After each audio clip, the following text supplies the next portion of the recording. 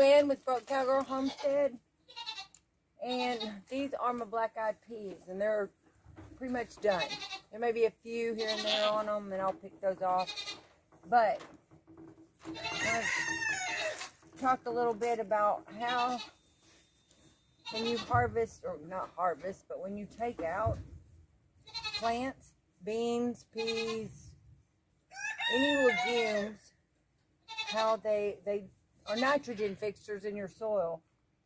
And you want to leave the roots because that's where that happens is at the roots. So, I got my little snippers, my gloves, and I am going to cut them off at the ground. Takes a little bit more time than pulling them up. My little snippers may not be quite big enough. that's the idea of nitrogen fixing plants is leave that in the ground. So that the roots end up adding organic material to your soil and the nitrogen stays in there for your next, whatever you plant next.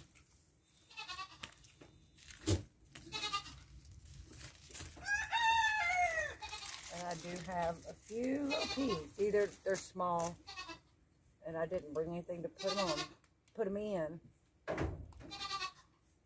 So I'll need to get a bucket or something to put them in. Won't be much.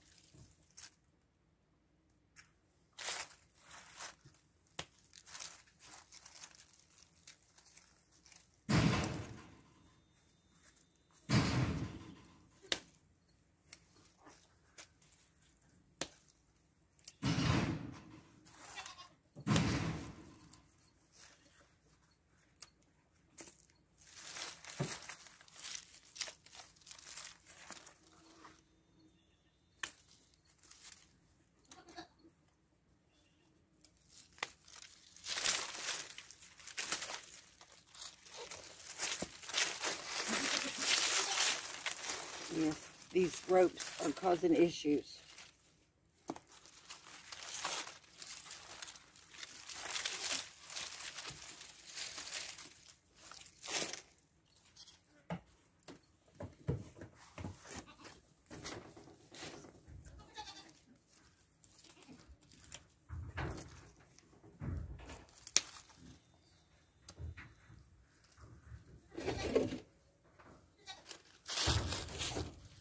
They are starting to put back out on the stems. I could probably get a few more pickings off of them if I left that, but getting ready to plant some fall stuff, so I got to get this cleared off.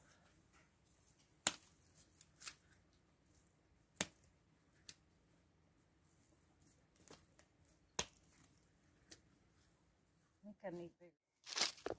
You can see here here.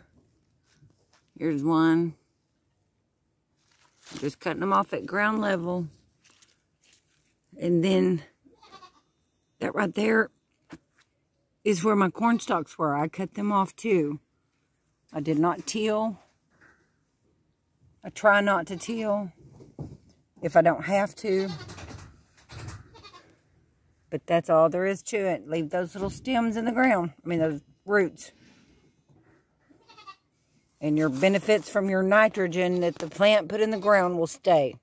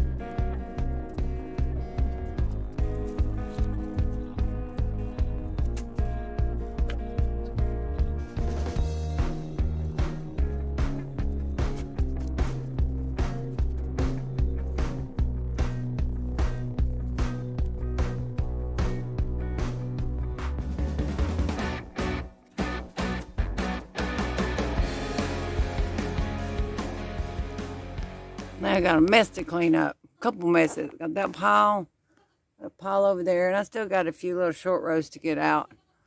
But I'll have to rake up all these and do some weeding. Get this cleaned up get these ropes down.